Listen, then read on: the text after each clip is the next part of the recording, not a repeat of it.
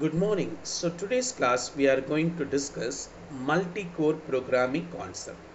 What is multi-core? Okay, multi-core is the system designed to place multiple processing units on one chip.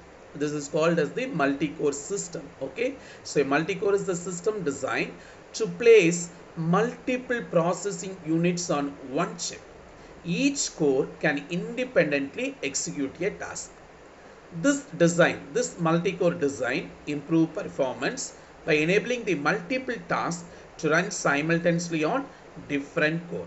Okay, now we are going to see three different terminology. One is the concurrency, another one is the parallelism, the last one is the CPU scheduling. What do you mean by concurrency? See, in concurrency, multiple tasks make progress by sharing the same resources for example single cpu okay? What is parallelism? Multiple tasks run at the same time on separate resources. Example multiple cpu core okay? Last one what do you mean by cpu scheduling right?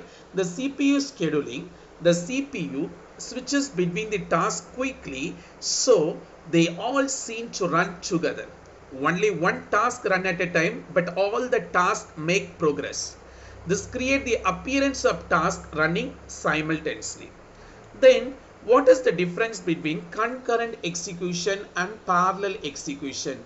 See the concurrent execution means a single cpu core okay a single cpu core switches between the tasks okay? Here a single core is there okay how many tasks are there?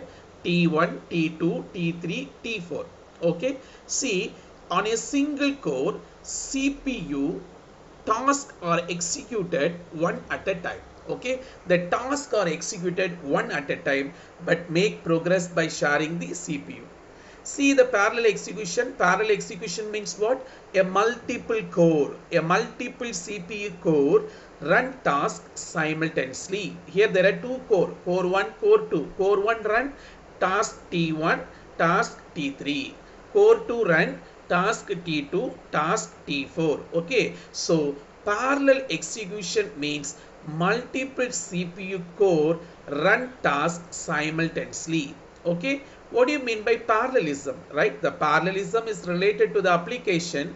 The tasks are divided into smaller subtasks that are processed simultaneously or parallel. This is called as the parallelism.